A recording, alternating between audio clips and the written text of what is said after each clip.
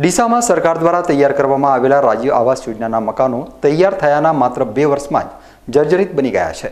જેને લઈ લાભાર્થીઓ મોતના ભય નીચે આવાસમાં જીવન વિતાવી રહ્યા છે. તો કેટલાક લાભાર્થીઓએ તો આ યોજનાનો લાભ મેળવવા માટે નાણાં ચૂકવ્યા હોવાનો આરોપ પણ લગાવ્યો છે. કોંગ્રેસના પ્રધાનમંત્રી રાજીવ ગાંધીના નામ ઉપરથી શરૂ થયેલી રાજીવ આવાસ યોજના અત્યારે ગેરરીતિનો મોટો અખાડો બની ગઈ છે. અને કોંગ્રેસની જેવી હાલત છે તેવી હાલત અત્યારે રાજીવ આવાસ યોજનામાં બનેલા ફ્લેટોની પણ થઈ ચૂકી છે. ડીસામાં પણ બે વર્ષ અગાઉ કરોડો રૂપિયાના ખર્ચે રાજીવ આવાસ યોજનાના મકાનો તૈયાર કરવામાં આવ્યા હતા અને ઘર પરિવારોને રહેવા માટે આવાસ મળી રહે તે માટે મકાનો ફાળવવામાં આવ્યા હતા. પરંતુ ડીસામાં તૈયાર થયેલા રાજીવ આવાસ યોજનાના મકાનો બનાવવામાં વ્યાપક ગેરતી આચરવામાં આવી હોવાના લીધે માત્ર બે વર્ષના ટૂંકા ગાળામાં જ આ મકાનોની હાલત ખૂબ જ ખસ્તા થઈ ચૂકી છે. અત્યારે આ મકાનોમાં જે લોકો રહે છે તેમનું માનીએ તો આ મકાનોમાંથી ઠેર ઠેર જગ્યા ઉપરથી પાણી ટપકી રહ્યા છે. આ ઉપરાંત દરવાજા પણ તૂટી ગયા છે, આટલું ઓછું હોય તેમ. અહીં જે વીજ લાઈનો નાખવામાં આવી છે તે વીજ લાઈનના મીટરો પણ ખતરનાક રીતે ખુલ્લા જોવા મળી રહ્યા છે.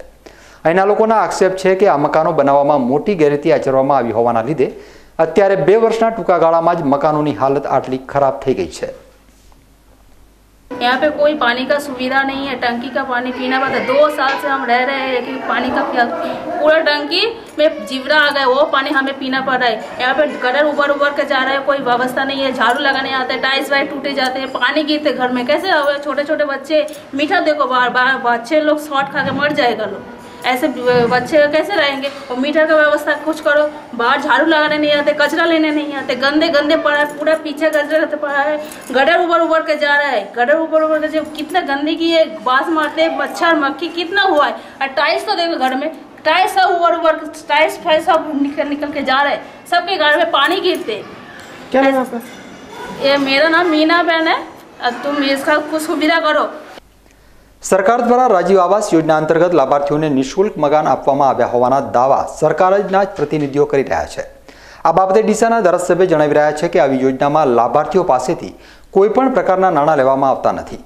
રાજીવ આવાસ યોજનાના જે મકાનો ભૂતકાળમાં ફાળવવામાં આવ્યા હતા તે મકાનનું જે લાભાર્થીઓ પાસેથી એક રૂપિયા લેવામાં આવ્યા હોવાના લાભાર્થીઓ જણાવી રહ્યા છે. તો સત્ય હકીકત શું છે? મિત્રો લાભાર્થી તો પહેલી વાત તો એક સાતથી આઠ ટકા લાભાર્થીઓ જ રહેવા ગયા છે. અને બીજી વાત કે એક એક લાખ રૂપિયા આપવો છે કે ઉઘરાવવામાં આવ્યા છે. આવું કોઈ આપણી પાસે મારી પાસે માહિતી નથી. અને આપે મને કીધું છે તો હું સ્થળ ઉપર જઈ રૂબરૂ અને તપાસ કરીશ. અને એક એક લાખવાળી જો વાત સાચી હશે જે પણ આમાં કોઈ પણ ચમરબંધી હશે એને છોડવામાં નહીં આવે. એની સામે શિક્ષાત્મક કાર્યવાહી કરવામાં આવશે. અને શિક્ષાત્મક એટલે જરૂર પડે પોલીસ ફરિયાદ દાખલ કરીશું.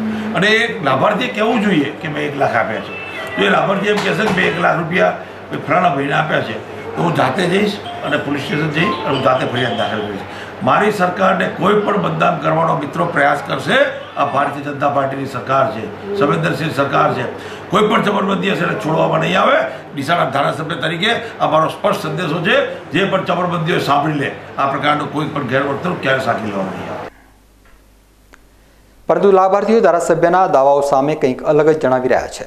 લાભાર્થીઓ જણાવી રહ્યા છે કે રાજીવ આવાસ યોજનાનો લાભ મળી રહે તે માટે તેમને જે મકાન ભાડવામાં આવ્યા છે તેના માટે લાભાર્થીઓ પાસેથી તગડી રકમ વસૂલવામાં આવી છે.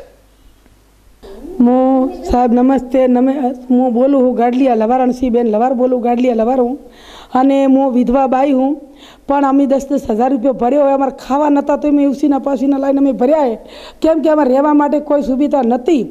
નથી એટલે અમારી મજબૂરી કારણે અમે પૈસા ભરી એનો રહેવા માટે આવ્યા તો અમારે ટાઈસો તૂટેલી ફટફટ ભાગી જાય, અમે રેતીમાં પગ જાતા રહે અને અમારે રેતી ઉંદડા કાઢે અમારા ઘર બુરાઈ જાય, અમારા સંડાસ બુરાઈ જાય, સંડાસ સુવિધા નહીં. અમારે લાઇટ નહીં, અમારે પાણી નહીં આવતું ચકલીએ. અને અમારે કોઈ અંધારું ઘોર આવા વિસ્તારમાં અમને ખાલ્યા છે. તો સાહેબ, અમારે કેવી રીતે મોટી મોટી છોકરીઓ રહેવું.